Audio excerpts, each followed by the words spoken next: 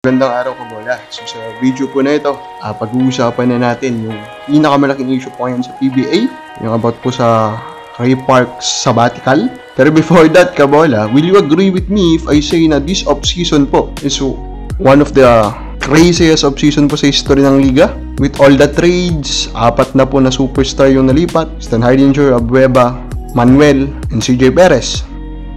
Then pagbabalik po ni Greg Slaughter, yung mga issues po sa draft, and yung mga magagandang names po ngayon na nandun sa draft being dubbed as the deepest draft daw sa history po ng PBA. And then of course, eto nga, yung issue po kay Ray Park. So, Kabola, hihimay-himayin po natin itong issue po na ito, Kabola. Anong connection ng Ginebra? Anong mga posibleng mangyari? Sa mga hindi pa po na-subscribe dyan, Kabola, pakipindot naman po yung subscription button. Of course, let's start at uh, first look at the post nga po nitong si Ray Parks when he told the world through social media that he will go sabbatical. So, malamang nabasa niyo naman na po yung post niya. Remorseful naman po and straight to the point. So, not participating daw dito sa paparating po na season because of uh, family matters. So, ang pinakamalaking tanong of course is, what is that family matter na kailangan niyang gawin wherein isasakripisyo niya po ang at least isang season niya po dito sa PBA. Pero yung karamihan po sa mga fans, after po ma-post niyan, karamihan po sa kanila, ang bukang bibig na is, he is trying to force a trade, no? Kumbaga, kabaliktaran po ng ginawa po ni Greg Slaughter in a way, di ba? Nagsabbatical si Slaughter because he wants to remain in Ginebra. Pwede itong si Ray Parks. Parang kabaliktaran daw yung ginagawa. Parang ganun po. Pero as additional information came up, we now manage po to build the picture kung ano yung nirason po nitong si Ray Park. So, combining po yung post po ni MVP, questioning nga itong decision po ni Ray Parks, and then yung latest po na article from spin.ph, we concluded na ang nirarason po ni Ray Parks is about his mother who is ill at this point. Parang ganun po ata. We're in, kailangan po ni Ray Parks or maybe the mother as Ray Parks na samahan po siya sa pagpapagaling niya po sa United States or sa California. And of course, logical naman kung mag-a-agree po si Ray Parks dito sa kagustuhan po ng mother niya, of course, hindi po siya makakalaro, di ba? Kasi yung PBA dito sa Pinas and yung mother niya nasa Amerika. And for me, I agree with what TNT Governor Vargas nung sinabi niya, no? Kung itong rason po na ito ni Ray Parks is totoo, this is a noble act, ano? Something to commend for a professional to sacrifice po yung career niya just to be with his mother, di ba? Hindi po yan madaling gawin nang ganun-ganun na lang.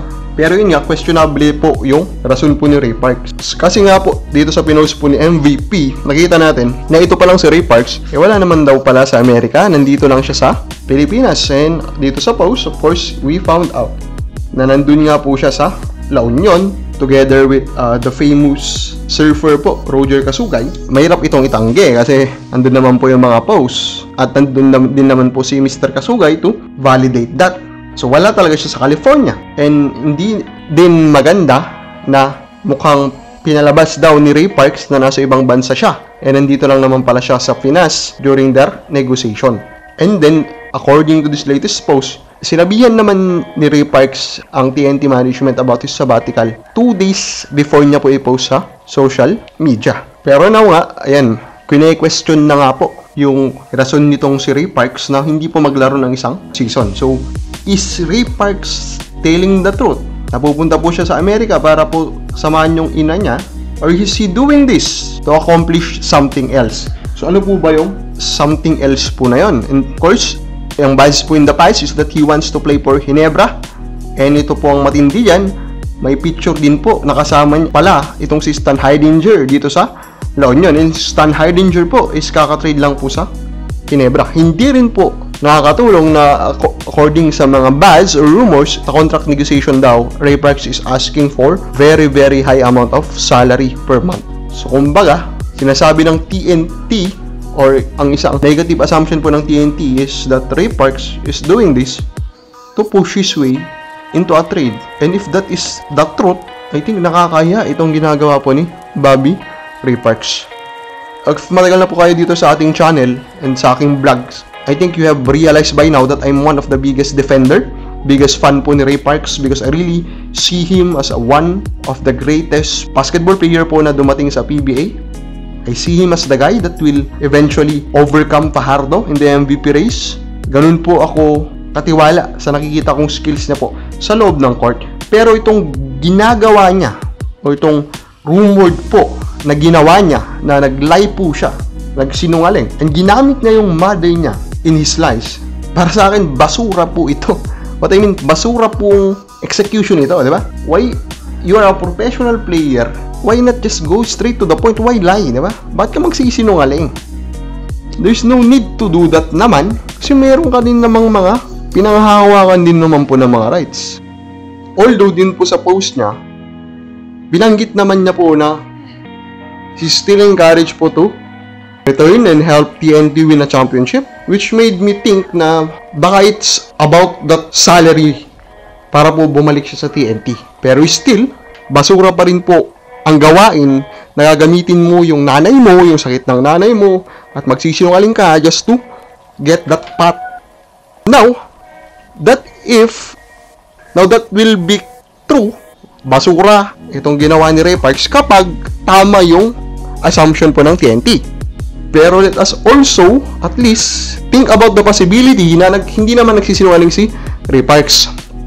Para naman po, hindi tayo one-sided, ano? So, pwede rin kasi ang nangyari is, pumunta nga siyang San Juan.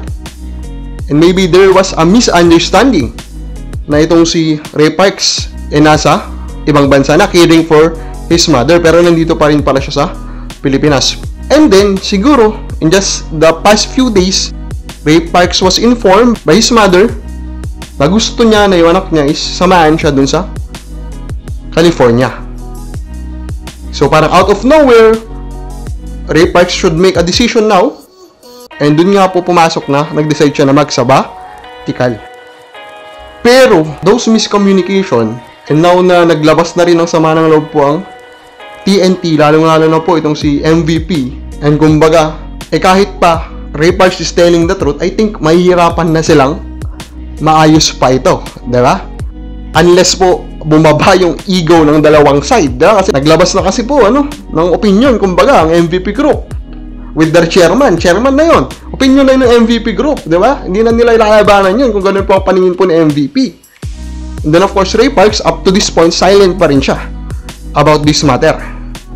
And yun nga, ang action po ng TNT, ilalapit na po nila kay Commissioner And this is a very interesting case now kasi PBA Universe look at the commissioner as a puppet of the San Miguel Corporation and knowing that Ray Parks wants to play for Hinebra, so ano magiging action kaya po ni commissioner? Will he again act in favor of the San Miguel Corporation? Or for this one ba? Makakatulong naman po sa MVP group yung magiging decision niya? Yan po yung malalaman natin sa mga susunod po na araw. So, sa palagay mo kabola, nagsisiyungaling ba si Ray Parks? Comment lang po sa baba.